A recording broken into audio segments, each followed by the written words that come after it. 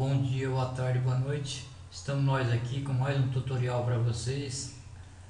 É, dessa vez vamos fazer um, um estudo, uma análise, uma cobertura é, dentro do robô.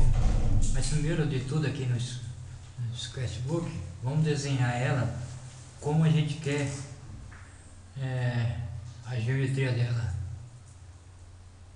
Ela seria mais ou menos assim, ó.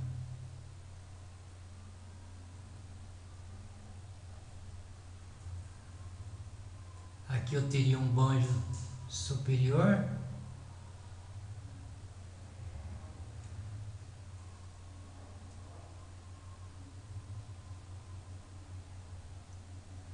Teria outro banjo aqui, ó.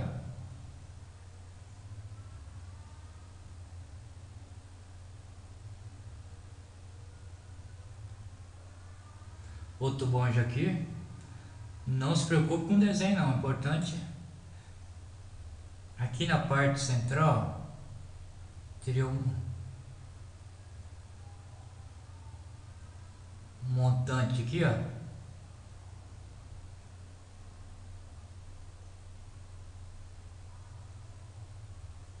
Em que nesse montante teria uma linha aqui, ó.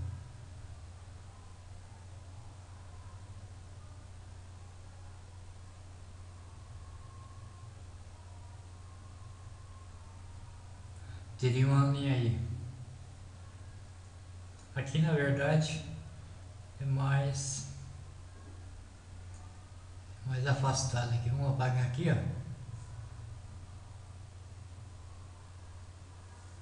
E vamos prolongar essa linha aqui, ó.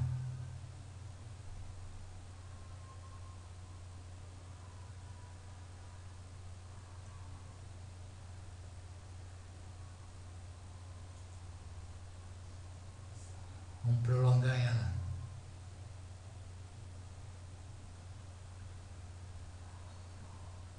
Que mesma coisa.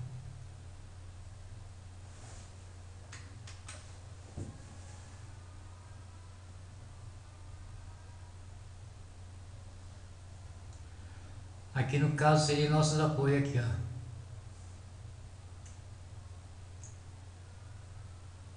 Mais ou menos por aqui teria o nosso apoio. Tá?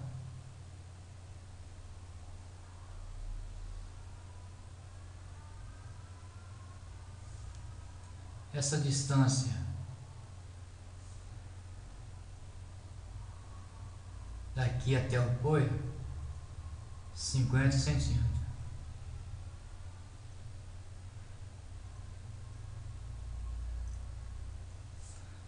Igualmente desse lado também cinquenta centímetros.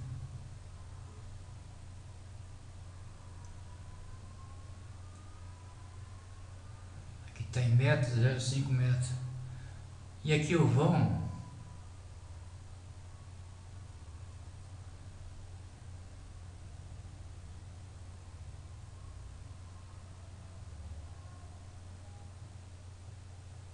aqui seria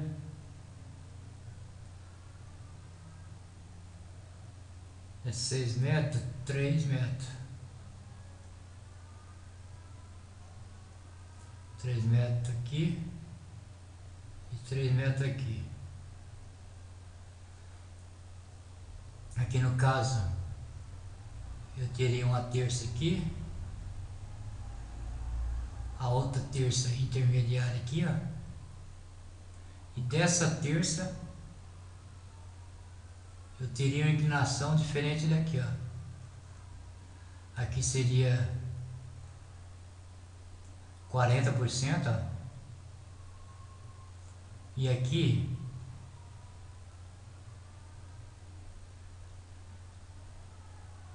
torno de 70%. A gente vai calcular. A mesma coisa seria por lado de cá. A terça aqui, outra aqui. caimento, mesma coisa. 40%.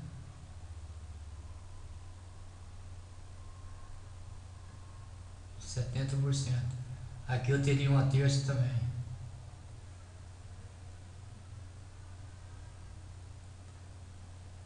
Certo? O que que a gente vai dar o startup do moderamento lá no robô? Essa madeira aqui, vamos começar com 6 por 12. Aqui é centímetros, né? Tanto as terças como a linha aqui o banjo superior o pendural aqui ó pendural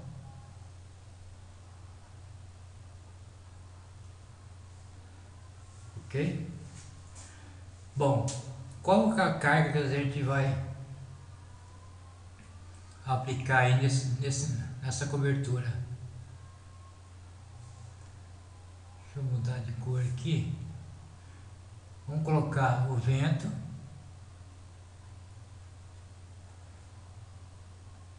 Pelo robô, calcular pelo robô.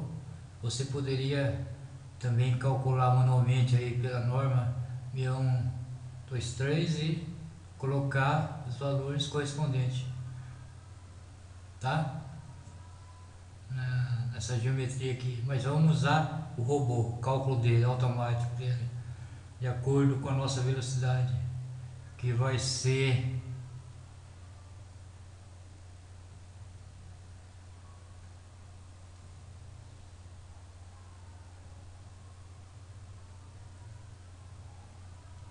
ser de 45 metros por segundo.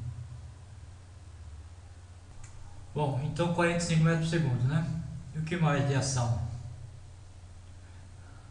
Dessa parte aqui para cima, das terças, a gente vai adotar uma carga pastelhas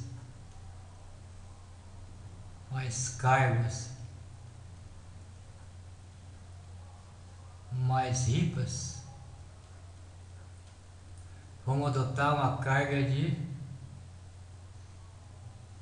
como o robô já calcula o peso próprio das terças desse madeiramento, a gente só vai adotar 100 kg por metro quadrado referente a telhas, cargos, ripas e a umidade, a absorção de água da telha, né? 100 quilograma força por metro quadrado. Ok? A gente vai aplicar essas cargas através do comando geometria revestimento do robô. Então, vamos contar aqui a altura. Altura até esse ponto aqui, ó.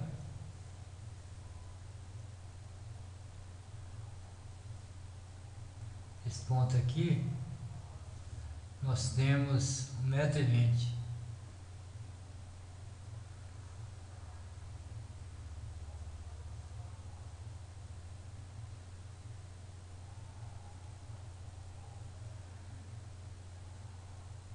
E daqui,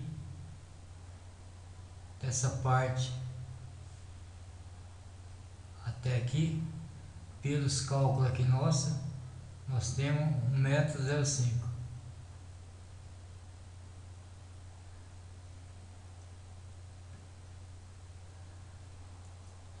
Ok?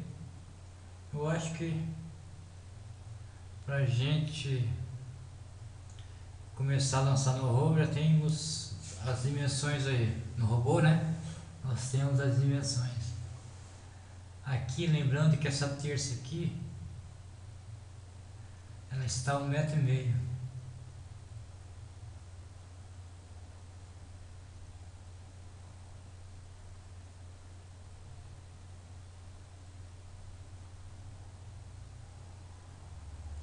Se a gente olhar esse madeiramento de cima, a gente vai ver é, isso daqui. Vai ser uma cobertura de 5 por 6.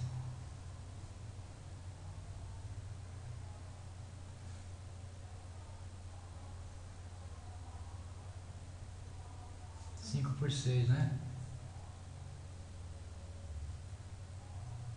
Então aqui vai ser dois e meio.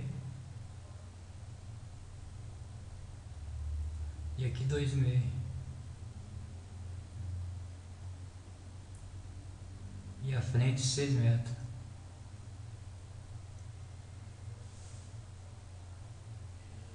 Vamos ter uma tesoura aqui, ó. A outra tesoura aqui.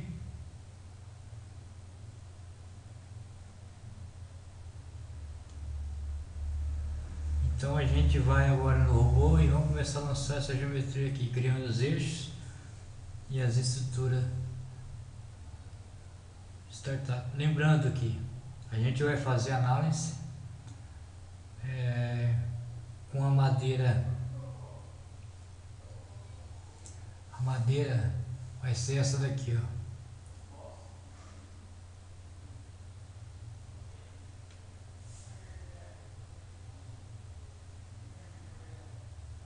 madeira, vou até anotar aqui, ó. Eu ensinei no tutorial passado aí a como você inserir o material madeira dentro do robô. Então, você procura o título aí, madeira no robô. Eu acho que é a norma, é a norma 7190. NBR 7190 construções com madeiras. Então a nossa madeira, eu já tenho uma cadastrada aqui, vai ser a sucupira. Essa madeira não existe na tabela é, da norma lá, então eu busquei no, no Instituto de IPT, né? Instituto de Pesquisa Tecnológica. Se a gente olhar a norma aqui,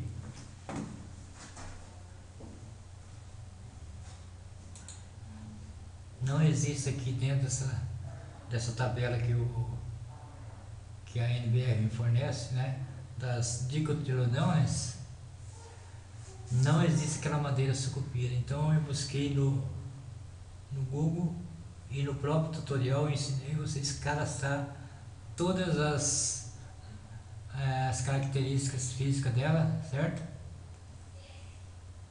Dentro do robô. Então procure aí no playlist que vocês encontrarão.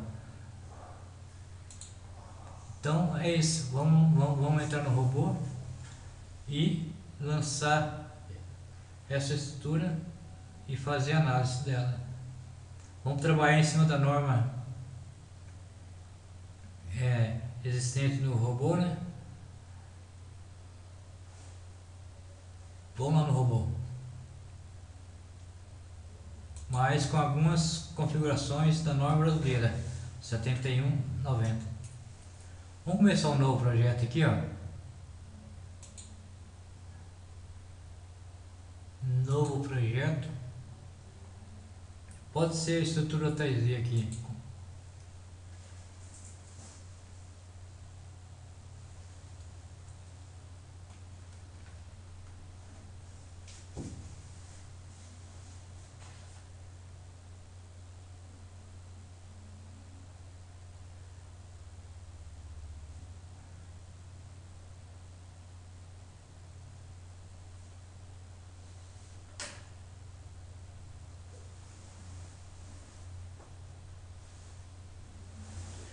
Vamos montar os eixos lá.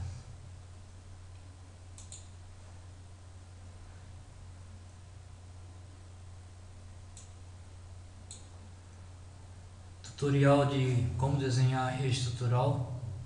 Quem é novato aí que está assistindo pela primeira vez, não deixe de dar um joinha aí e de filiar-se ao canal. Que se você começar assistindo desde o número 1 até esse, você vai estar tá a saber, saber muita coisa dentro do robô, né? Esse espetacular software de análise de estrutura, né? Que trabalha pode ser trabalhar conjuntamente, você conhece o Revit aí, Revit Structure, pode desenhar no, no Revit Structure, exportar para o robô e calcular e retornar para fazer o seu detalhamento, seu desenho, seu projeto dentro do Revit Structure, ok? Vamos lançar. Olhando no eixo aqui do,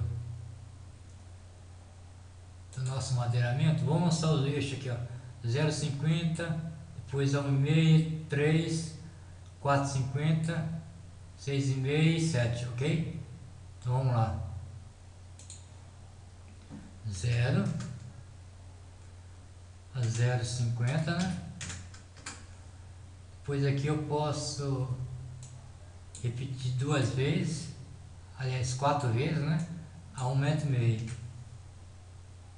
Distância de 1,5. Eu adiciono, depois na última posição eu posso pôr uma repetição de meio metro. Vai ser o final lá do nosso veral. No eixo Y, vou fazer três eixos de dois afastado a cada 2,50 2.5 depois 5 no eixo Z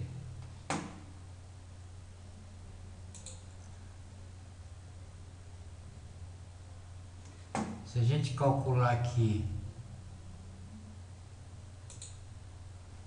ó, eu tenho 50 centímetros de veral a 40%, ponto 4 vezes ponto 5, vou subir 20 centímetros. Então, vou ter um desnível aqui de 20 centímetros. Então, pôr um zero.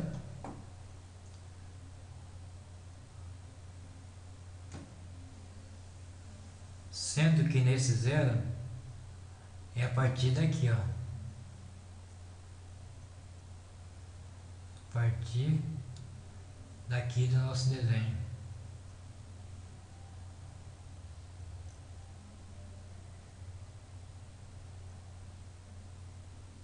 Então, esse desnível aqui, ó,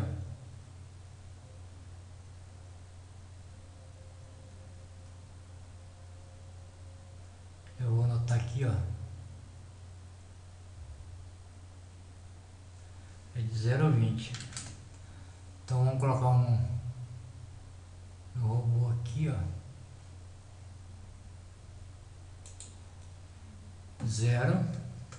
Depois é 0,20. Depois aí eu joguei 1,20.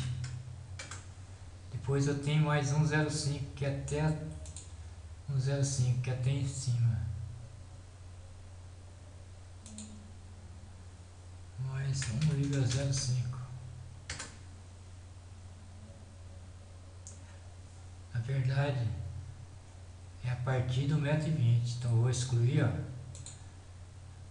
Vou na posição, número de repetição 1 e 1,05, ó. Se eu tivesse lançado a somatória, sim, eu poderia desenhar o eixo daquele modo. Mas como é a partir da posição, ó, então ficou a 2,25. Aplicar e fechar. Só vamos conferir aqui. O eixo aqui, um metro e meio. Tá. O que, que a gente vai fazer? Vamos começar a desenhar. Qual que é a madeira aí startup que a gente fez lá? Madeira já de mercado aí 6x12, já viga 6x12. Toda a estrutura aí vai ser Vamos lá no desenho de, de vigas. Vai ser viga de madeira. Eu já tenho uma cadastrada aqui, ó. Se você não tivesse, você vem nesse, nesse ícone aqui, vai lá e cadastra. Tá? O material padrão meu tá peroba. Vamos mudar isso. Como é que a gente faz isso? Vamos lá em preferência de trabalho, dentro aqui ó,